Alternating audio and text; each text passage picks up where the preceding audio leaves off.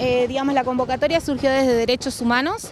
Eh, lo que nosotros hicimos como una organización feminista organizada eh, fue poder convocarnos y apoyar esta, esta convocatoria, porque sentimos que nos interpela totalmente.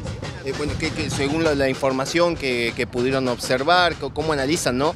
este conflicto social que se está viviendo en Chile, incluso acá a pocos kilómetros de acá de Río Grande, en la ciudad de Punta Arenas.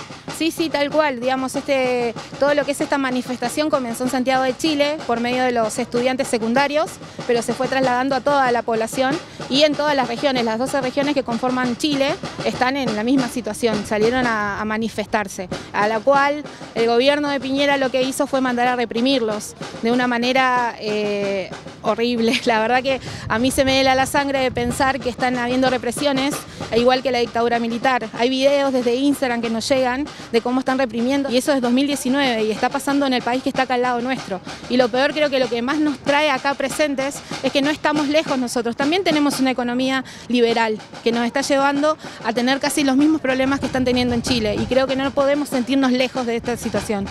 Eh, sobre, sobre esta situación, eh, ¿van a presentar alguna carta, algún documento al cónsul de, Chile? ¿Han pedido la posibilidad de, mínimamente poder hacer un pronunciamiento formal? Sí, digamos, lo que hicimos fue desde Derechos Humanos, me compartieron un comunicado oficial, que fue el que leímos, eh, y bueno, me imagino que este mismo comunicado va a ser elevado también al Consejo en forma de apoyo a toda esta situación que está sucediendo. Comentabas también en, otro momento que tenés familiares allí en Chile. Contanos sobre la situación que, están pasando ellos.